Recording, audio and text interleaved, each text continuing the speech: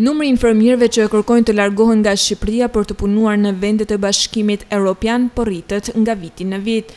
Edhe në Lezhë largimi i infermierëve ka qenë i lartë, ndërsa problem mbeten rrogat dhe kushtet e punës. Kjo pranohet edhe nga presidenti i Urdhrit të Infermierëve, Sabri Skënderi.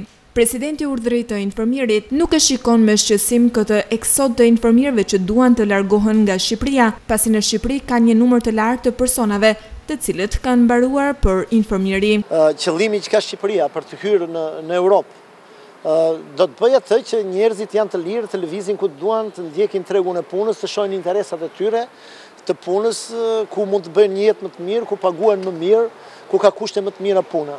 Kjo është e drejta e tyre.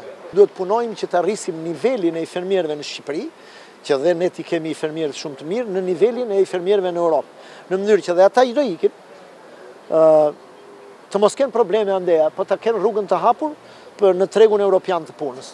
Pagat e infermierëve janë shumë të ulta, ne kërkojmë në mënyrë të vazhdueshme që ato të rriten, dhe të vlerësohen. Ne këtë ia kemi thënë, do të thonë dhe qeveritarëve tanë në mënyrë të vazhdueshme, që të mos mbetemi si në Europë, mhm. se Europa kështu thotë, nuk i trajtuam mirë, nuk i vlerësuam mirë infermierët dhe tash ngelëm pa infermierë.